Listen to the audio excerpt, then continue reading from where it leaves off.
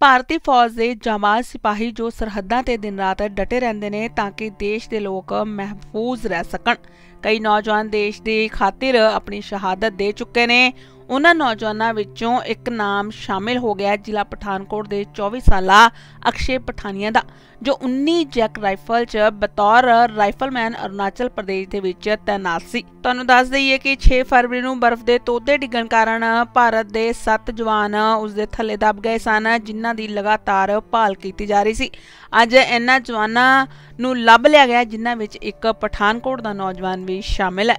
ਅਕਸ਼ੇ ਪਠਾਨੀਆ ਦੀ ਸ਼ਹਾਦਤ ਤੇ ਜਿੱਥੇ ਪੂਰੇ ਇਲਾਕੇ ਦੇ ਵਿੱਚ ਸ਼ੋਕ ਦੀ ਲਹਿਰ ਹੈ, ਉੱਥੇ ਕਿਹਾ ਜਾ ਰਿਹਾ ਹੈ ਕਿ ਮ੍ਰਿਤਕ ਦੇਹ ਨੂੰ ਕੱਲ ਪਰਿਵਾਰ ਨੂੰ ਸੌਂਪ ਦਿੱਤਾ ਜਾਏਗਾ, ਜਿੱਥੇ ਸਰਕਾਰੀ ਸਨਮਾਨ ਦੇ ਨਾਲ ਉਹਨਾਂ ਦਾ ਅੰਤਿਮ ਸੰਸਕਾਰ ਕੀਤਾ ਜਾਏਗਾ। ਉੱਥੇ ਹੀ ਪਿਤਾ ਦਾ ਕਹਿਣਾ ਹੈ ਕਿ ਉਹਨਾਂ ਨੂੰ ਆਪਣੇ ਪੁੱਤ ਤੇ ਮਾਣ ਹੈ। ਫੋਨ ਆਇਆ ਯੂਨਿਟ ਦਾ ਕਿ ਇੱਥੇ ਪੈਟਰੋਲਿੰਗ ਪਾਰਟੀ ਸਾਡੀ ਗਈ ਸਵੇਰੇ 5 ਵਜੇ ਤੇ ਪਠਾਨੀਆਂ, ਅਕਸ਼ੇ ਪਠਾਨੀਆਂ ਉਸ ਪਾਰਟੀ ਦੇ ਨਾਲ ਸੀਗਾ ਤੇ ਉਹ ਲਾਪਤਾ ਹੋ ਗਏ ਨੇ ਤੇ ਅਸੀਂ ਪੂਰੀ ਭਾਲ ਜਾਰੀ ਰੱਖੀ ਦੀ ਹੈ। ਜੋ ਜੋ ਇਨਫੋਰਮੇਸ਼ਨ ਮਿਲੇਗੀ, ਅਸੀਂ ਤੁਹਾਨੂੰ ਦਿੰਦੇ ਰਹਾਂਗੇ।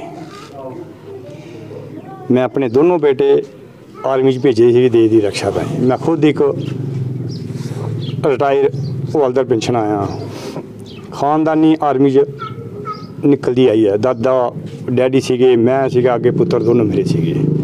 ਚਲੋ ਮੈਨੂੰ ਇੰਨਾ ਬੜਾ ਮਾਣ ਹੈ ਕਿ ਮੇਰਾ ਪੁੱਤਰ ਸ਼ਹੀਦ ਹੋਇਆ ਆਪਣੇ ਦੇਸ਼ ਤਾਈਂ। ਤੇ बड़ा मान की गल है मैंने छः तारीख को अरुणाचल में एक ऐसा अवलांच आया जिसमें देश ने अपने सात सपूत खो दिए। उन्हीं में से शहीदों की भूमि जिला पठानकोट का एक रणबांकरा राइफलमैन अक्षय पठानिया भी था, उन्नीस जैक राइफल रेजिमेंट से। दो दिन सर चलती रही और कल जो है, वो सातों सैनिकों के शब्द जो है सेना ने बरामद कर लिए। क्योंकि चाइना का बॉर्डर है, बॉर्डर पे खतरा जो बरकरार रहता है, आपको पता है, हमारे टर्म्स आजकल चाइना के साथ ठीक नहीं चल रहे।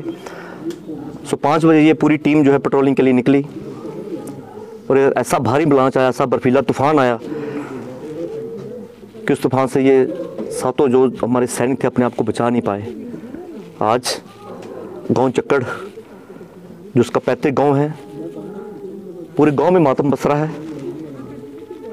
हर आँख नम है। पूरा गाँव फौजियों का है, स्वतंत्रता सेनानियों का है।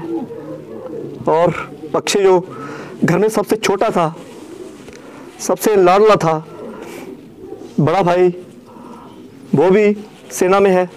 पिता सेना में सेवाएँ दे चुके हैं, दादा सेना में सेवाएँ दे चुके हैं। चौथी पीढ़ी जो है भारतीय सेना में देश की रक्षा कर रही थी और उसी ड्यूटी को निभाते हुए अक्षय पठानिया अपना बलिदान देकर अपना सैन्य धर्म निभा गया। आज वो माँ ऋतु पठानी जिसके साथ दो तरीक को सिर्फ़ वीडियो कॉल पे सिर्फ़ उसका चेहरा नज़र आया और बात करते करते वो लाइन कट गई। लाइन क्या कटी? ज़िंदगी की डोर कट गई।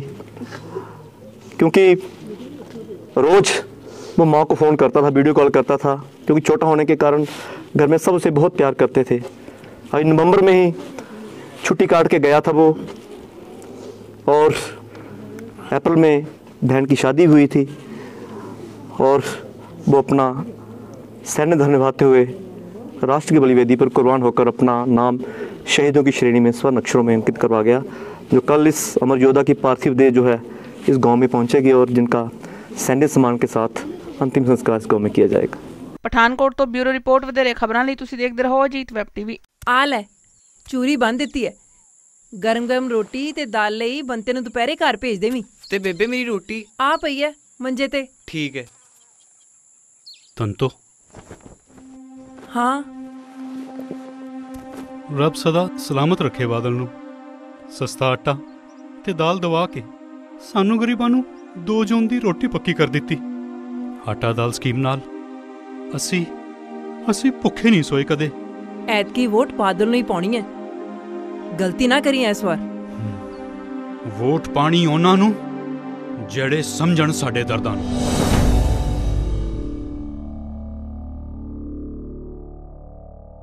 ਦੇਸ਼ ਦੁਨੀਆ ਦੀਆਂ ਤਾਜ਼ਾ ਖਬਰਾਂ ਦੇ ਲਈ ਹੁਣੇ ਪਲੇ ਸਟੋਰ ਤੋਂ ਡਾਊਨਲੋਡ ਕਰੋ ਪੰਜਾਬ ਦੀ ਆਵਾਜ਼ ਅਜੀਤ ਨਿਊਜ਼ ਐਪ।